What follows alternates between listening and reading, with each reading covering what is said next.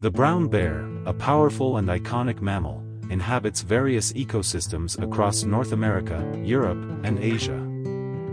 With its distinctive hump of muscle on its shoulders and a thick coat ranging in color from light to dark brown, it is renowned for its size and strength.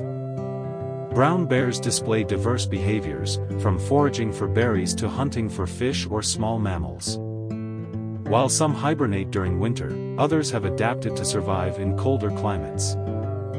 Conservation efforts are crucial due to habitat loss and human interactions.